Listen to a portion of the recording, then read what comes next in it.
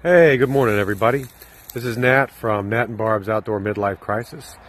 And we just wanted to give you a little update about what's going on with the channel.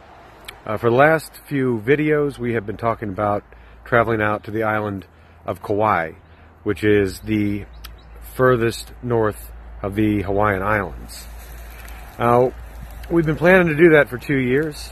Unfortunately, a few weeks ago, in April 15th and 16th, um, the island was hit by a deluge, by the worst flooding they've known in 50 years.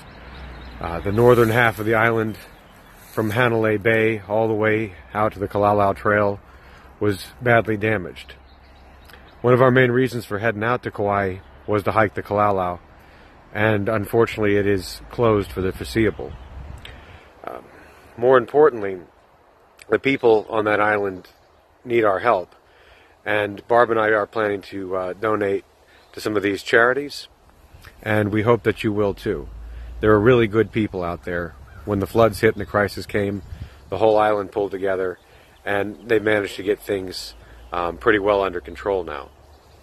Sadly, since we were planning to go there mainly to hike the Kalalau, we have decided, regrettably, that we are not going to go to Kauai this year and we may not go next year either.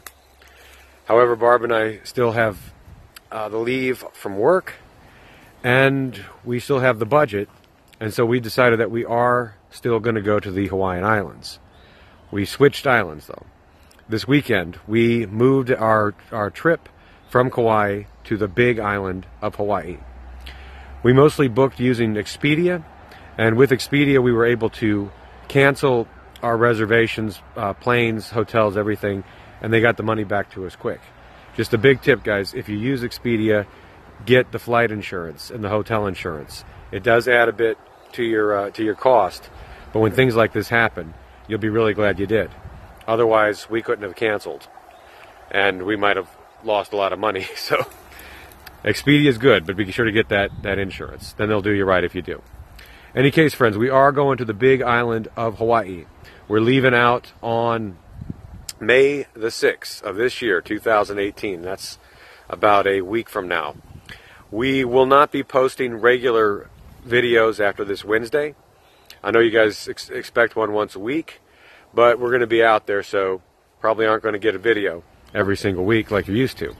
What we are going to do, however, whenever we have access to Wi Fi, is we are going to give you guys little updates.